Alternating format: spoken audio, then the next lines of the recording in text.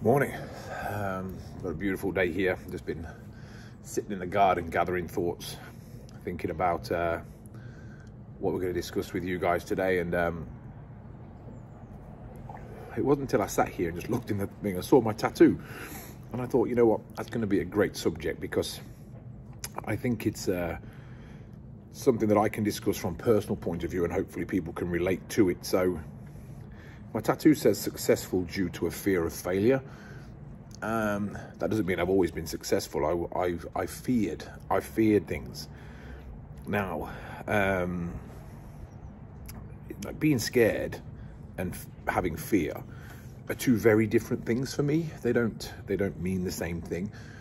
Now, I didn't live in fear of uh, shooting clays or anything like that. My fear came from my father. Now, I've grown up watching my father be successful in pretty much everything that he did, you know, he but he created his own success. Nothing was given to him. He was just a hard working man that hard that did everything for his family. And I just found myself dying to emulate him, dying to make him proud and um, it held me back. It didn't drive me forward like um, you think it would the uh, the fear of um, not being able to go home and tell him that I was world champion or coming down off the last layout and like, did you win it, son? And I was like, no, I shot 22, that is silver again. Because I don't know if many people know, I got silver medal at the World FITASC almost four years in a row. And I lost to different people each time. And I sat at home, I'm like, damn, you know, I'm not being beat by one guy here. I know I'm good enough. And I was like, what, what's holding me back? What am I scared of? And having that ability to sit down and rip yourself apart, you know, it can bring you to tears sometimes that you think, I'm going to have to self-destruct here to find out what it was. And that's what I figured it out, you know. Christ, I've just come second at a world championship of 1,100 people. I'm a silver medalist. And why am I not happy? Why am I not excited? And I think one of the biggest things, my dad's not an emotional person. He's very, you know, man's man. You know, men do this and men do that. And it wasn't really until I sat down with my mother and she's like, you know, your dad's really proud of everything you've done. He's like, but mum, you don't show it. He's like, well, you know, he's never going to, but, and he was like, wow, you know, and I could feel myself welling up and he was like, but if, if he's proud, why am I disappointed? And I made, I promised myself from that day forward, I'm, i was going to shoot in a different light, in a different way. And uh, the next year I won the World FITASC. It was, um, and I rang my dad. I'll never forget, it was in America. Um, I couldn't uh, really afford to go. A lot of people clubbed together to get me there. And I uh, had a tremendous shoot off against Anthony Matarese and George and won, won the World FITASC. And I called my father to tell him, and I was, you know, he said, well, very well documented. I was in tears sitting on the layout. And I called him up and I said, Dad, I'm world champion. And he's like, Ben, it's four in the fucking morning dude. And instead of being upset about it, I laughed about it and I was like, I know, I know you just hung up and you think, yeah, he's done it. He's, he's achieved his goal. So some of that will ring true with some of you, some of it won't. But um, what is your fear? Do you fear missing? Because if that's the worst thing that's happened to you on a shooting ground, we can fix that together with some classes because we're always going to miss. I've said it before, the World Championships are not one on 200, so missing is going to be a part of it. So jot some notes down, jot some notes down. What are my fears in shooting? When I get there, what do I fear the most? Is it the letdown of somebody else? Is it fear of um, not winning? You won't be able to write on Facebook, and I think that may sound daft. To some of you, but a lot of people are social media led and the fear of not being accepted on social media. How many likes do you get? Um, you know, that can get to people. If you can realize why you're, what you're afraid of, you can really then use it as a strength.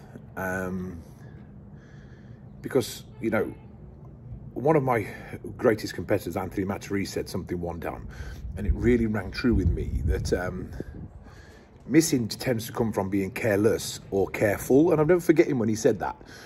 And it's so true, you know, I need to hit this pair and you tighten up or oh, I've got this, and you miss. And I think that comes down from fear too. So it's, um, you know, it's an unplanned video. I'm just rambling, but I hope it, uh, hope it makes sense to some of you. If you can sit down, just jot some notes down. And if you do jot some notes down, you want me to take a look at them, just social media across to me, send them on an inbox and I'll have a look because owning up to my inner demons and my inner fears certainly has helped me become the champion that I've become. And uh,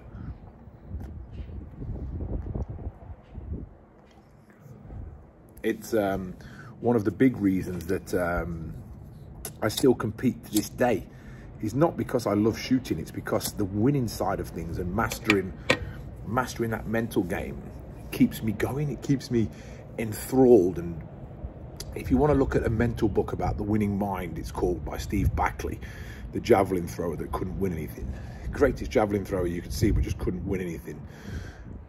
Um, it's, it's, a, it's an excellent, excellent insight in, into the mind games and you know the mental the mental game like i said to you it's not really a mental game. It's having the ability to switch off i think is impossible. When people say oh my god this happened. When i took the mindset what is fear and excuses are two different things you know. Fear is something that's going to bother me and i've got to learn to combat it.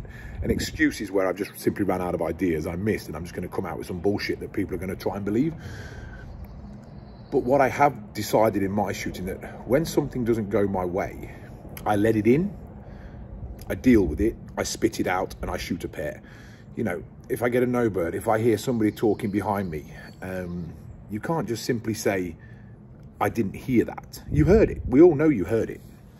Whew, I have to go and get a coat I'm getting a bit chilly. But the way I try to deal with things now is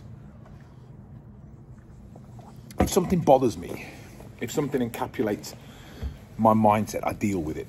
I don't try and bat it away. I let it in. I like, right, that idiot behind me's just put me off. Deal with it, Ben.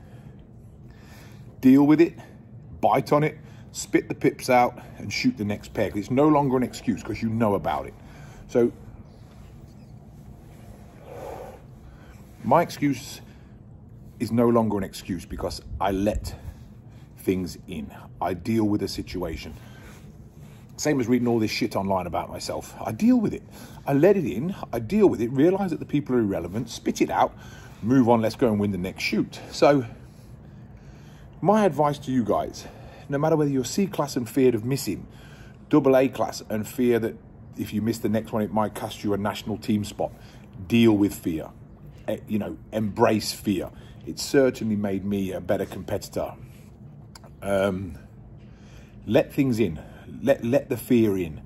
Deal with it and move on. If you keep batting it away and batting it away and batting it away, eventually that dam's going to break. You know, water keeps hitting that wall. Eventually, it's going to break, and that's what happens. And it can be the biggest, most important pair of your life, and it breaks because you've not dealt with it. And that's something that I can. Is I'd love for you to take from this is that let it in, let it in, let that problem in deal with it, move it on, and deal with the next pair. And this could be something that you have to do on every pair. You know, oh my god, if, you know, if you go into the last peg of a World English Sporting Championships, I've been there. You've got to hit the lot. You've got to hit the lot to win. You know, the fear is going to be there every pair. Bang, bang, pair dead. Okay, we're in. Three pairs to go. Let it in. Let it rock. These, these are for the World Championship, so don't mess up. Okay? That's my advice to you guys. Fear. Understand fear. Embrace fear. Take some notes. What are you scared of? When you go shooting, what's the biggest fear in your head? Take the notes down. Send me the notes, and I can start to do a video on how to deal with those fears. But understand fear, embrace fear, beat fear. And that's what I did. All right. Be safe, guys.